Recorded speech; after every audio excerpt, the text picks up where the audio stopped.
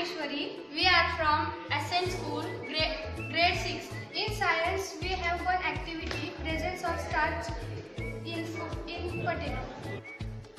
For this we need Dropper potato, petri dish, knife. and iodine solution.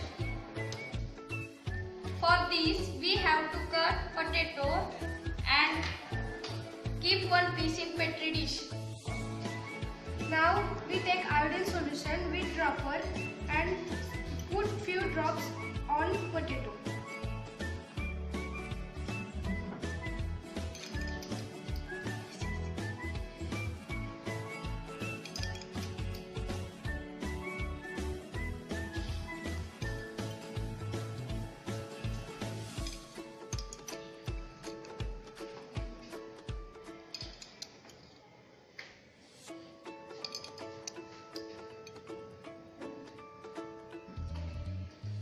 Here we see dark blue color on potato.